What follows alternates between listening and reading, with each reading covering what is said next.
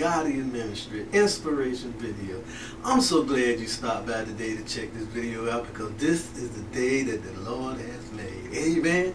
Amen. I'm Minister Smith, better known as Guardian. Amen. Amen. This is the month of December. Ah, a glorious month for us. It's the month we celebrate uh, when our Lord and Savior Jesus Christ came to us. Because God so loved the world that he gave his only begotten Son. And whosoever believeth in him shall not perish, but have everlasting life. Amen. Amen. I'm titling this message today. The Lord gave me the title of this.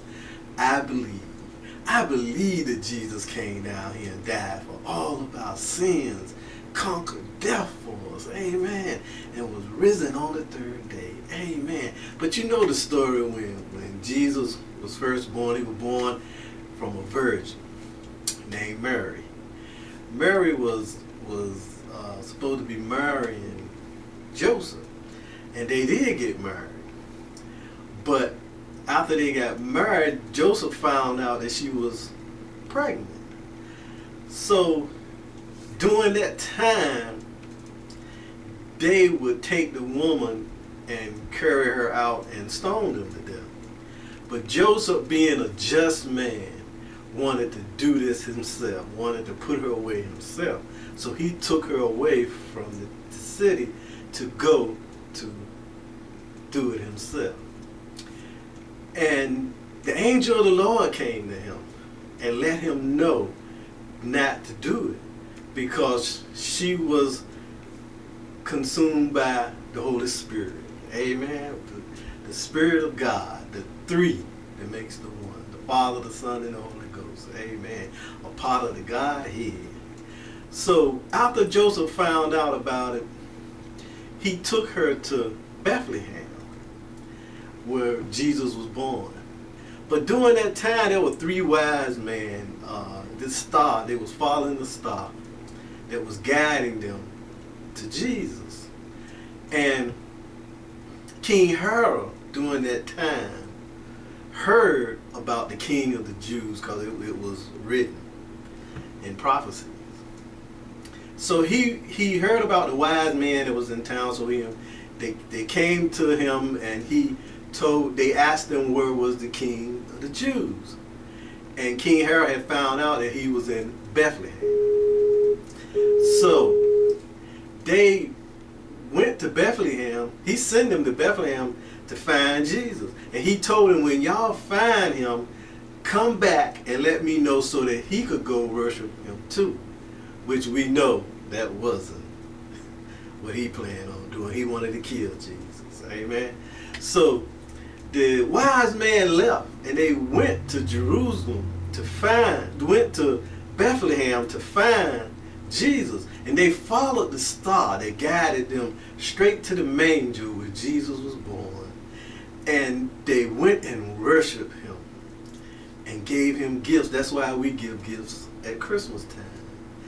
So after they finished worshiping him and, and seeing the king of the Jews, and they left. They supposed to went back to King Herod, but they didn't.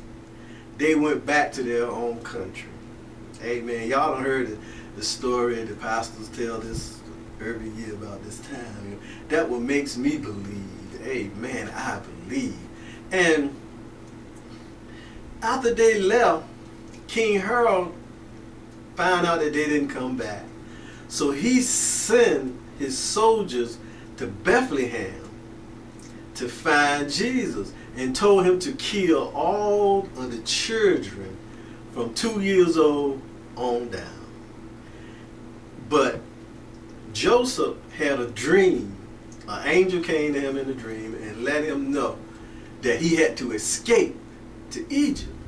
And King Herod's soldiers went into Bethlehem and killed all the children, and, and that was a prophecy too. There will be a time of sorrow, a time of weeping, because all the kids got killed.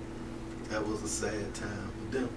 But Jesus escaped, as it was written that he was going to escape. So that's why we have to believe this time of year. Jesus escaped and, and he stayed had to stay in Egypt until Herod died and all those who was trying to kill him. And this is why this time of year we celebrate the coming of our Lord and Savior Jesus Christ, who came down here, was born of a virgin. I believe. And I know those of you that have heard the story, so I know you believe. So why not during this time of year accepting him as your Lord and Savior Jesus Christ. Those of you who don't know him and the pardon of your sins. All you have to do is ask him to come into your life to forgive you for your sins. Turn, those you that have your Bible, turn to me to Romans 10 and 9. Amen. That if thou shalt confess with thy mouth the Lord Jesus and shall believe in thy heart that God has risen him from the dead, thou shalt be saved. If you believe that God has risen him from the dead, if you believe he came down here, was born of a Virgin Mary, you done heard the story, even when you was a child, over and over again, what's the true meaning of Christmas? And that's Jesus is the reason for the season. Amen. So if you believe and if you don't know the Jesus of the pardon of your sin, ask him to come into your life. Start the new year off being a child of God. We are all going through trials and tribulations right now. And, and the way the economy is, now, you, we need all the help we can get. But I'm telling you, me as a living witness, God had shown me when I accepted Jesus as my Savior, He had let me see God in everything, all the blessings that comes my way, all the strength that he give me when I established that personal relationship with him. And God loves you. And he loves each and every one of you. All you have to do is ask him to come into your life and he will help you through any situation that you're going through today. Amen. Amen. I hope this video helped you out in some kind of way. Ask Jesus to come into your life. He came down here to be born and die, the Lamb of God, just for you. This is why we're celebrating this time of the year. Amen. I'm going to pray. Our Father, Lord, we thank you for sending your only begotten Son. So whosoever believeth in him shall not perish, but have everlasting life. Lord, we thank you for allowing him to come down here and die for all of our sins, Lord.